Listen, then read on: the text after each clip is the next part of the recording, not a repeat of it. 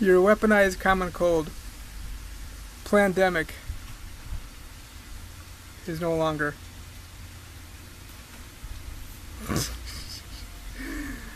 oh my god. I doesn't mean that, you know, people aren't going to be getting sick anymore.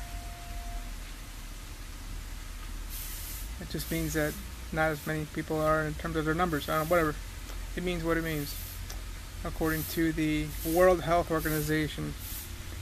And you know, I made this video. I made, I made, I've been making these videos pretty much every day since 2017 uh, for YouTube about my health.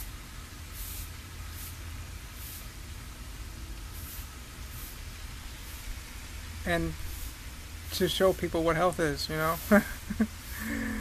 oh, what a, what a what a coincidence that this happened, you know.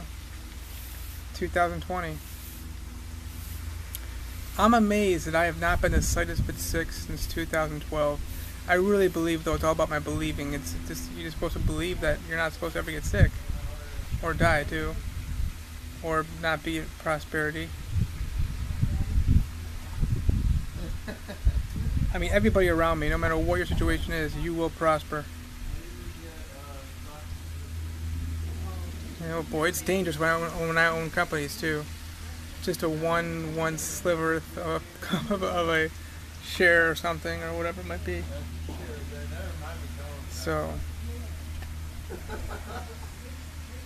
we're out.